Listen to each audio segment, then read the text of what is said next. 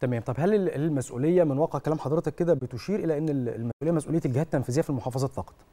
آه محافظات عايزه والاحياء ومجالس المدينة وكده. عايز أقول إن إحنا بنخاطب معالي وزيرة التنمية المحلية مم. دكتورة منال عوض إن إحنا عايزين نرفع من كفاءة آه، آه، رؤساء الأحياء بالنسبة لفهمهم للأخضر.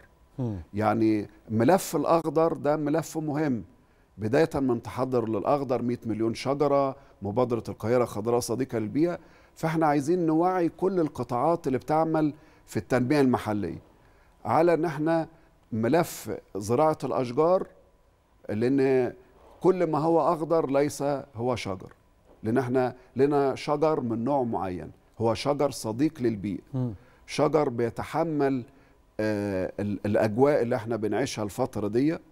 شجر مستديم الخضرة دائم الخضرة يعني آه، شجر يتحمل العطش وبأقل احتياجات مائية مم. عشان مقننات المية اللي إحنا طبعا لازم نرشد استهلاك المية.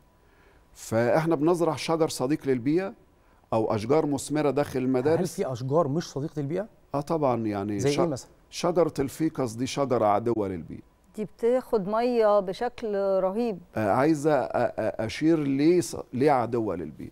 تمتص المية زي ما سيادتك اخذت كل مخزون المية الجوفية. اتنين عملت شبكة عنكبوتية للصرف فعملت لي مشكلة كبيرة في إن هي في الصرف الصحي. ثلاثة عملت لي خلخلة في الأسوار.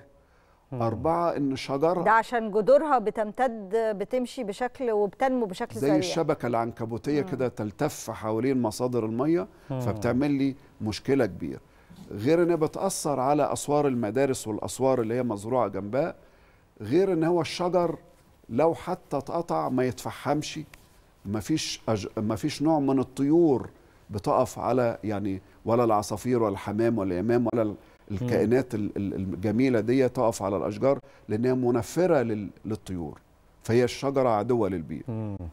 ورق الشجر ورق بلاستيكي شمعي. فالصغور والمسام اللي عليه قليلة فانتاج الاكسجين مفيش خالص.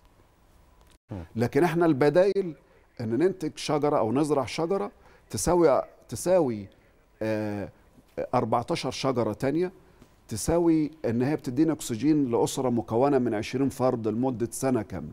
مم. ومستديمة الخضرة. يعني الورق عليها طول السنة. طبعا فده دور مؤسسة تزرع شجرة. مش بس زراعة الأشجار هو رفع الوعي البيئي بأهمية الأشجار بأهمية الأخضر. والأخضر ده مش شجر الأخضر سلوك الأخضر حياة. مم. فعلشان كده بنعلم أطفالنا تنمية المهارات الإبداعية للأطفال. لما زار معالي المحافظ آه، القاهرة للمكان وعدنا بأن يبقى فيه في كل حي مركز للوعي البيئي تابع لمؤسسة تزرع شجر. وده التخصيص اللي ممكن يتم بما ان إحنا معانا قرار النفع العام ونقدر يبقى ده أول مدرسة بيئية في كل حي من الأحياء.